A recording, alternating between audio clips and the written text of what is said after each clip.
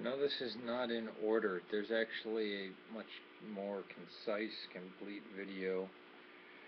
Goes into greater depth. It's called something like My Campaign, uh, Criteria, Tactic, Goal, Hydra, uh, Criteria, Tactic, Goal, and Theory on Hydra, or something like that.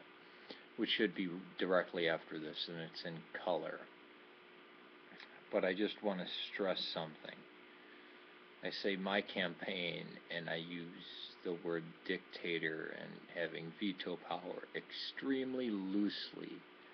I don't think I'm in charge of anybody. I don't think anything. In fact, I say three months, but hopefully it will dissolve faster than that. Um, I have no delusions of delusions of grandeur about this.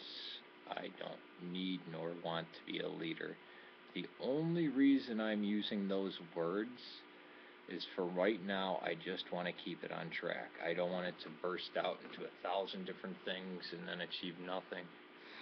Um, but I noticed that things always start off very, very small. That's how they begin. Um, that's why I use mythical creatures like the beast of the Old Testament, which the Greek word for that is therion. I think it just means beast, but from all the medieval weird crap and Victorian era stuff, it, in English it kind of leans towards a beast with multiple heads. The same goal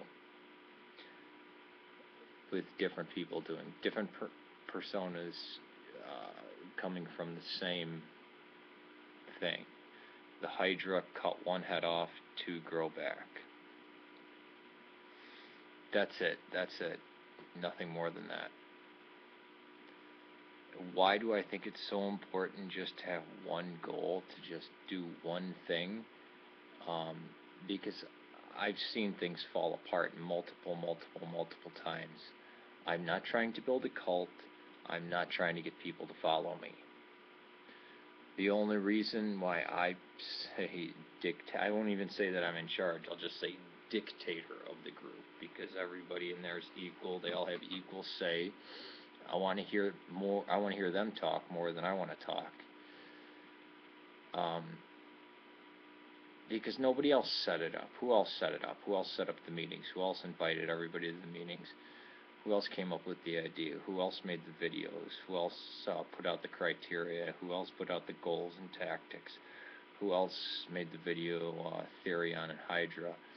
And how we would approach this, how you don't attack, how you just you just you're nice to somebody and then let other people ask questions. I've dealt with cults for too long. I know how they operate. I know the buzzwords that they have. I mean, if you go into a Jehovah's, if you go into a Kingdom Hall and you pick any part of the Bible and say, "Can you please explain this to me?" They're all over you. They love to hear stuff like that. Because most people are, you know, spraying them off with hoses and stuff like that. Um, if you if you go into any Scientology center you say, look, I was given Dianetics. I really don't understand this. Would you be able to explain this to me? They will go out of their way to do that. This is how the cults work. Um, especially the most bombastic, self-righteous, arrogant people who all want to be their little Jim Joneses. If you say, uh, well, can you help me understand? I'm not quite sure even if they're, let's say they're, and this goes for anybody who's, who's uh, thinks that this is even partially a good idea. Even if they're mean and rude to you, because usually they will be. They'll call you every name in the book, and they think, well, that's just getting your attention, even though it's pushing you away. This is how these fundies actually think. They think, oh no, that's how we get their attention. We intrigue them by doing. No, they actually just push people away. Now the people that they're going to attract are us. Are the seven-headed Hydra. And uh, the beast coming out with multiple heads. That's what they're going to encounter. and they're going to encounter the same thing all the time, which is, where do you find that? So, so you believe that, which, which there's some very e- there's some answers that they will inevitably come to. Do you believe the Bible is the Word of God and that it should be obeyed and it's a correct guide for mankind? Yes. Now, you wouldn't get that answer from a Roman Catholic. You probably wouldn't get that answer from an Eastern Orthodox. Why?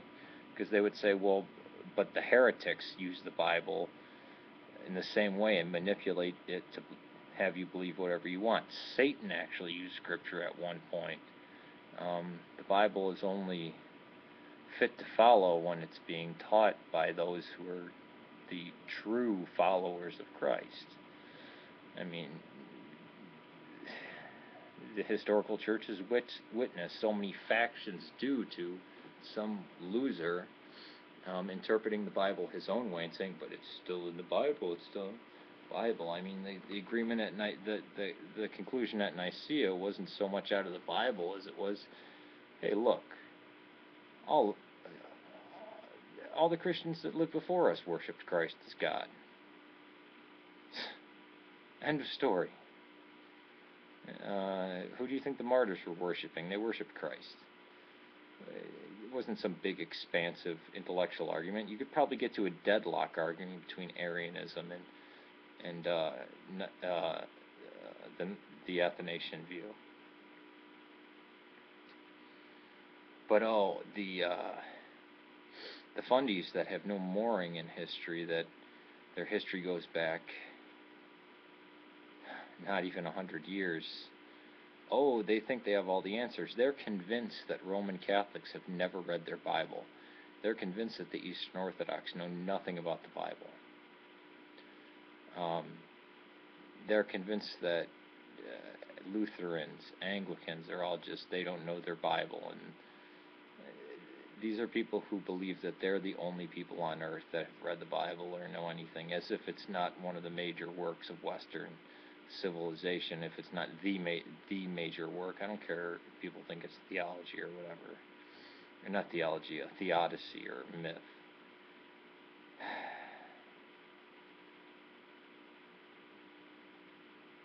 In the nicest possible way. Can you please explain to me? Oh, that okay, okay, okay. I understand. I understand. Um, but it, and actually, I'll be the first one. As soon as somebody comes across one of these people, get me first. I want to show you how show you how I I've been dealing with these people for a long for a long long time because it was about a four year period way way back many moons ago where it would be Christadelphians, um, Jehovah's Witness, Seventh Day Adventists, Mormons, and they love they love to hear. Can you please explain this to me? I don't quite understand this. Could you help me clear this up?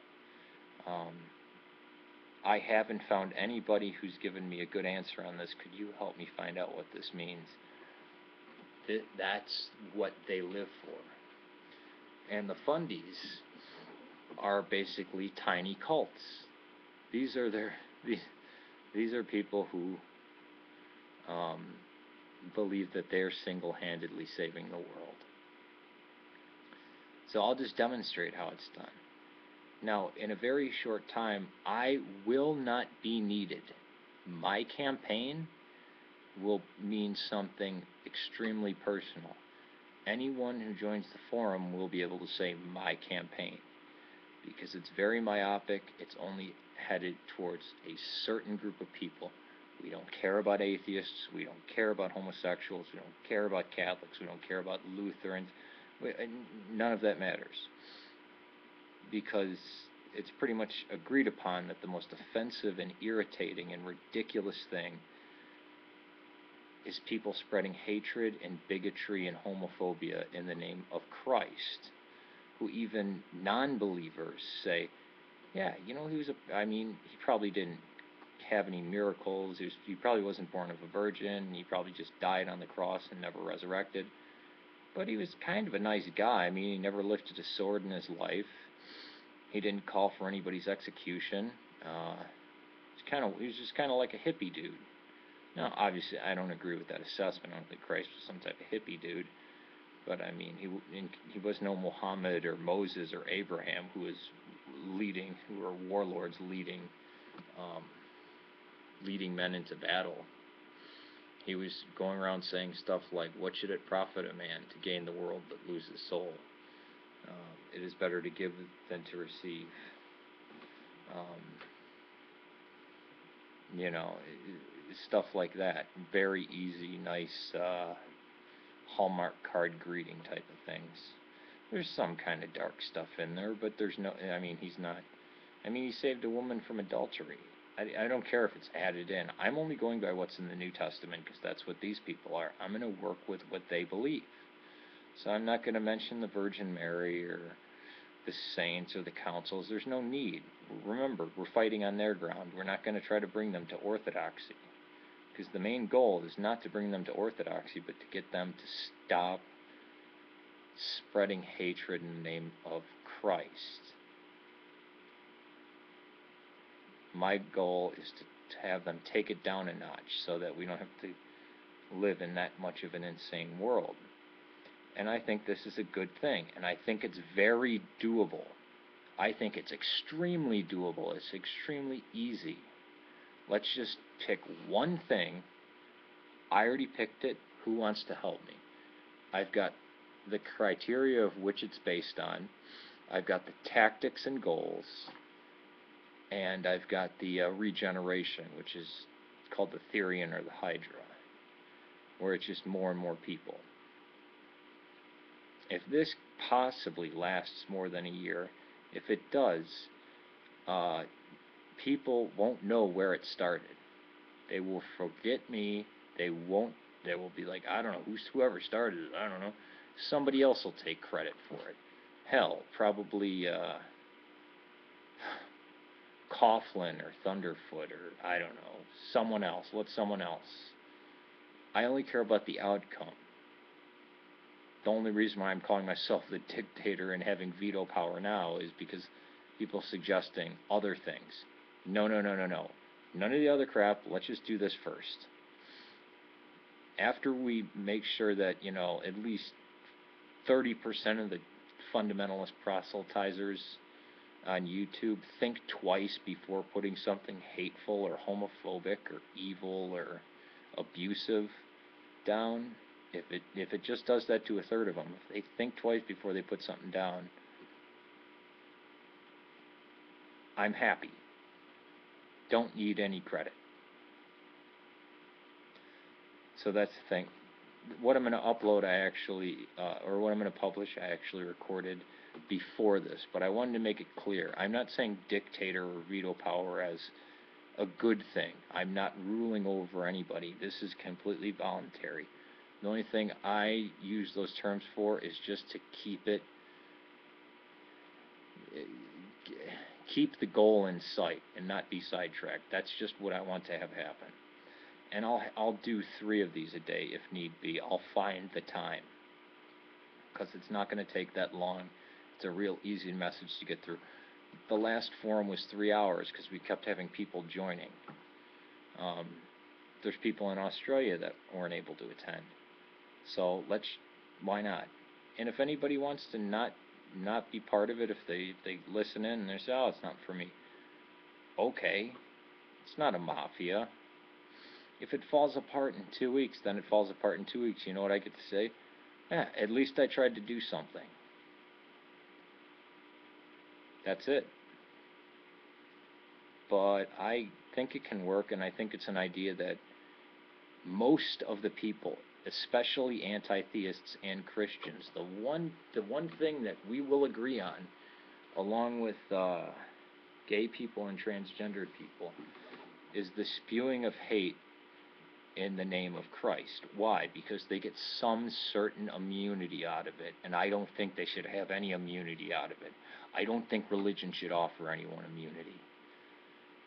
I think you should be able to, you should have to pay the consequences for what you say. Kind of like schoolyard rules. Hey, fuck you. Yeah, boom, and then you get a punch in the teeth. Real tough guy now. Now, I'm not advocating any type of violence, but if people want to spread hatred and bigotry, if you have a few people being like, well, that shows that nothing that you said is in the character of an apostle of Christ or a disciple of Christ. Uh, embarrass these people with their own God, with their own text. Why not? They've had free reign for too long, for way too long. And it's gotten very popular for people to act like jackasses. But because they do it and act like jackasses and bigots and uh, hate mongers, but because they do it in the name of religion, as long as they say Jesus, they get away with it. Enough is enough. No. Which, for me as an Orthodox Christian, angers me beyond no end because for me, Christ is a nice, good guy who is the embodiment of good. And it's actually blasphemous to spread evil and bigotry and, and hate and fear in the name of Christ.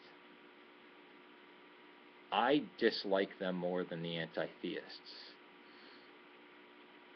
I don't know if I dislike them more than the gays. Not that I dislike gays. Gay people, I don't care about. They're fine. They're human beings. But these people seem to be. They're like the Fred Phelps. They're like the Westboro Baptist Church. They are there to offend. And since they call it a religion, somehow they get some type of pass.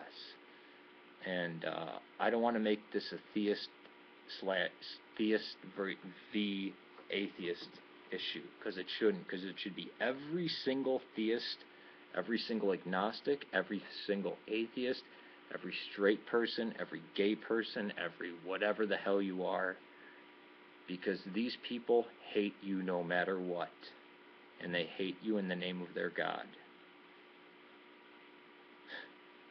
unless you're identical to them you're the enemy you're a tool of satan and I think there's more of us than there are of them. They might be more zealous, but I think I can be very sincere in my cause and believe that uh, hatred and bigotry and malice should be stamped out. And the most beautiful way to do that is with love, because how are they going to fight? How, how are they going to resist anything? They're, they're, they're bound by their New Testament. They have to only work within the text, and they've got nothing in the text to support them. The criteria, the goals, tactics, Hydra, and Therion. Watch this next video that I'm putting up. So when I say dictator or veto power, help me make that a very short-lived. Let no one else take over after me and let it just be organic and let these people think twice before they say something like uh, fags will burn in hell forever or atheists are just scared of a god. No, they're not. Isn't death scarier for an atheist coming from somebody who doesn't care about an afterlife? like me? So, let's give them a run for their money, huh? Because if you're gay, if you're Catholic, if you're Orthodox, if you're if you have any type of liturgical church, Lutheran, Anglican, these people are against you and claim that you're going to hell and put you equal to a rapist. No joke. Just talk to them. And yet they will fight tooth and nail to defend televangelists like Creflo Dollar and Kenneth Copeland. They will defend evil while acting good while attacking the passerby.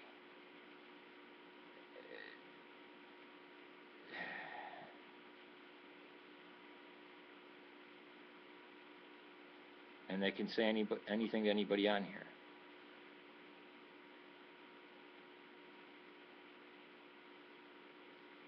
It's time to start reining these people in. Who wants to join me? I was surprised at the first turnout. Let's jack that up some more. remember, we have tunnel vision on this. We're not spreading out to any other thing. Let's do this first and then we'll do something later. Get too many people that I get forgotten. But let let the goal motivate